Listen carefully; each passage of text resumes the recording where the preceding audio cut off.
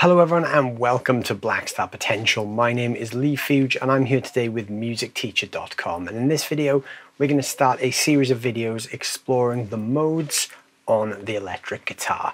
The modes are a type of scales that many guitar players are fearful of at first but over the next couple of videos, we're going to demystify these and break them down in a way that is super easy to understand and give you some great practical tips on how you can start using them in your own playing.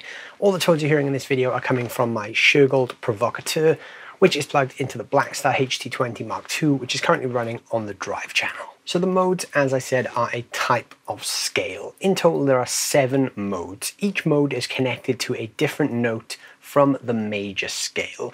So the major scale is essentially the gateway to all music theory and all music understanding. If you understand what the major scale is, you can essentially turn that into any other theory concept you wish. So we're going to start off by looking at the major scale and then we're going to look at how we can branch this off into different modes.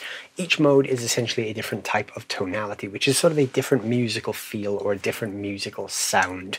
So you can split the modes up into major modes and minor modes and there is a diminished mode which we'll cover in a later video, but we don't have to worry about that for today. So the good thing with tonality is we can use the modes to put it into a major or a minor category, and then using those different tonalities, we can subdivide into different modes to create different textures and feels.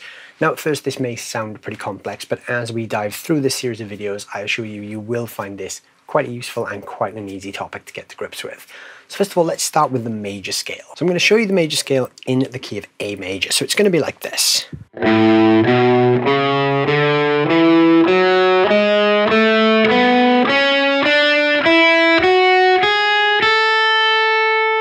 So that is the A major scale in the usual typical A major scale shape that we all know. If we break that down into a series of notes, we have A, B, C sharp, D, E, F sharp, and G. And then the scale just repeats. So we're back to an A, A, B, C sharp, D, E, F sharp, G sharp, A. So when it comes to music theory and modes in particular, we often refer to notes in that scale as numbers. These numbers are known as intervals. In the major scale, those numbers are always just 1 through 7. We literally just give each note a number. So A is 1, B is 2, C sharp is 3, D is 4, E is 5, F sharp is 6, and G sharp is 7. And then we're back to the 1, which is the A. 1, 2, 3, 4, 5, 6, 7. Those are the intervals that go with each note.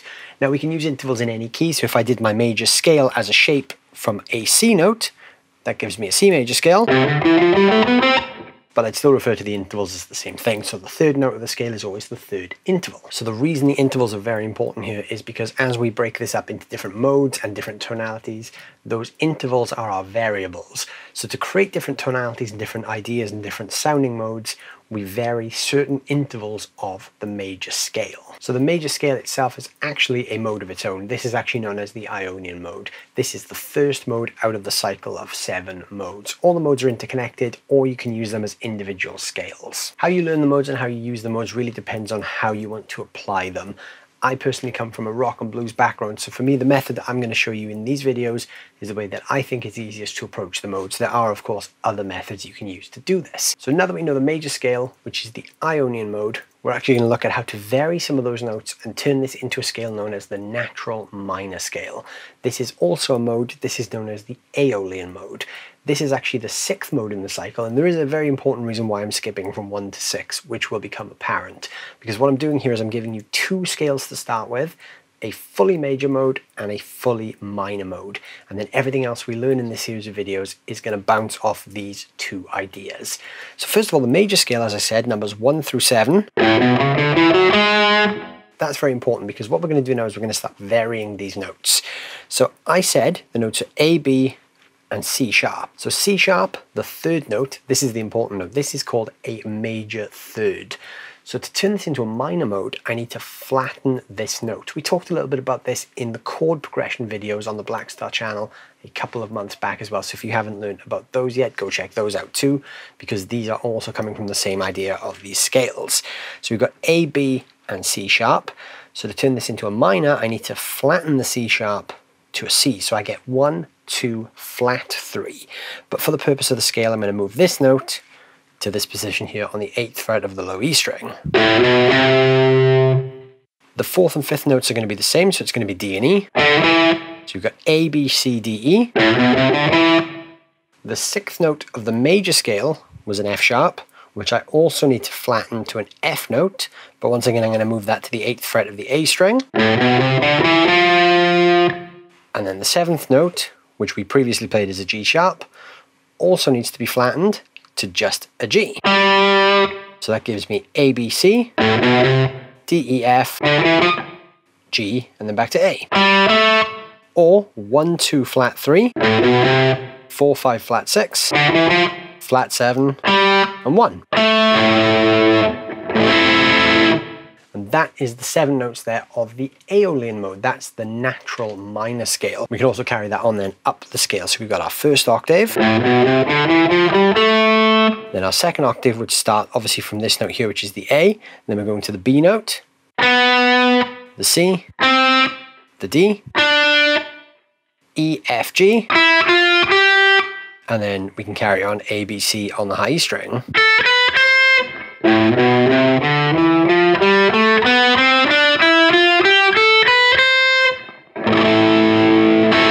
So that there is our Aeolian mode, that's our natural minor scale. So this is what we would refer to as a minor scale. So it kind of looks like a minor pentatonic.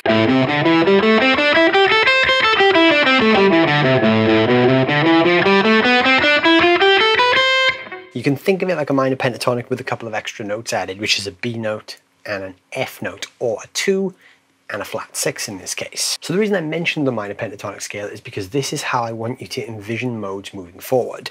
So you can think of your modes, your minor modes in particular, as being linked to a minor pentatonic scale. So if you know where your minor pentatonic shape is,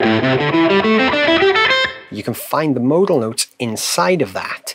So we've got our first string, that note there, the B, that's our modal note, that's the 2. On the A string, it's the 5 and 7 from the minor pentatonic with the modal note on the 6th fret. The D string is just the same, 5 and 7. On the G, it's also 5 and 7 for minor pentatonic, but we've got this B note here on the 4th fret. On the B string, it's 5 and 8, but the modal note is this F note here on the 6th fret. And then the same thing is true then on the high E as the low E. Got the 5 and 8, which is our pentatonic notes, and the B note on the 7th fret, which is our modal note.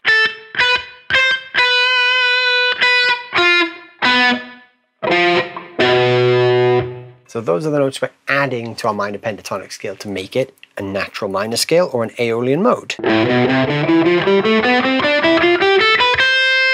So the reason I find it useful to imagine this with an outline of a minor pentatonic scale is when I'm using this in a practical sense, if I'm soloing with a minor pentatonic shape, I can simply add those modal notes around my minor pentatonic licks.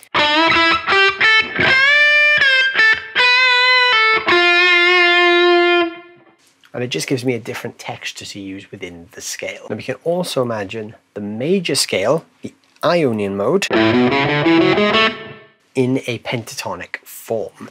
So to do this, we're going to be using a major pentatonic, but we're actually going to use the fifth shape of the major pentatonic scale. So the A major pentatonic scale will be A, B, C sharp, E, and F sharp.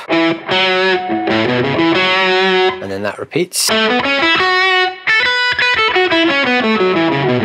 You may also recognize that as the second shape of the minor pentatonic scale. That's the first shape of the A major pentatonic scale. So interval wise, we've got one, two, three, five, and six. Now what I'm going to do is I'm going to restack those notes, starting from an A note, but in the form of a first position pentatonic scale. So to do that, I can actually come this side of the A note. So my A note here now is my first note. I'm going to go A, B, C sharp, E, F sharp. This looks as if I'm playing an F sharp minor pentatonic scale because the key of F sharp minor shares the notes with the key of A major. So we've got A, B, C sharp, E, F sharp. And I can go down to this F sharp if I want to, because that's also still in the same key. So if I imagine a minor pentatonic shape from this A note here, I can start it from this F sharp note if I want to, but just for the ease of understanding this on a note basis, I'm going to start from the A. So A, B, C sharp, E, F sharp. And then if I repeat that, I've got A, B, C sharp, E, F sharp, A. You see that fits into a first position pentatonic shape. This is also the fifth shape of the major pentatonic. Now I know there's a lot of crossing there between major and minor, but this is key to understanding the modes in this method. So what I can do is I can now build my mode from that position. So A, B, C sharp, then I need to add a D. Then my next note is E, F sharp, G sharp, and then I'm back at the root, so A, B, C sharp, D, E, F sharp, G sharp, A. Now you'll notice that is exactly the same shape as my natural minor, except the only difference is where I'm starting in relation to the A. So this is another good way you can think about it. You could learn that one shape, your natural minor shape. A is the root. If the first finger is playing the root, we're playing this in a minor way. If we move this backwards, so my little finger is now on the root,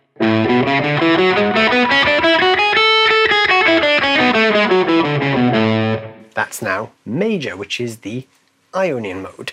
So those are two really easy scales there which use the same shape.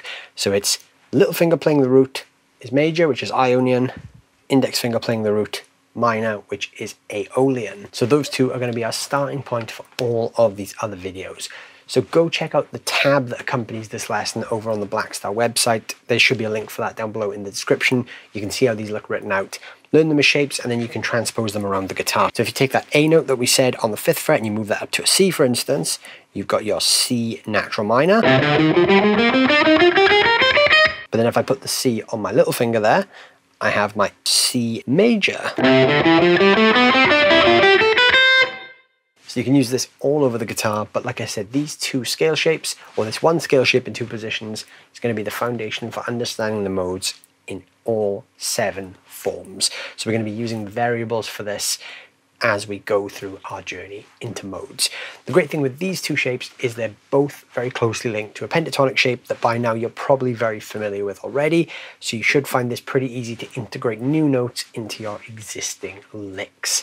Let me know down below in the comments how you found this, how you've gotten on with this starting point for modes, and if you have any questions about the modes and how to use them, put those down below as well and we can address those in a future video.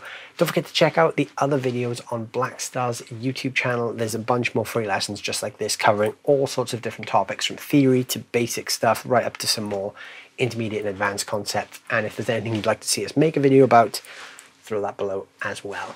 If you're looking for a guitar teacher in your local area, please go check out musicteacher.com. There's a great network of teachers all around the country waiting to help you guys out. Thanks so much for watching, and I'll see you very soon.